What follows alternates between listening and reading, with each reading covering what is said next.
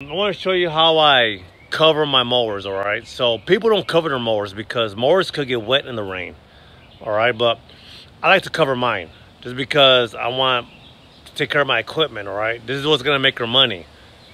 This is how I cover my uh, my trailer, all right? So I just use a tarp.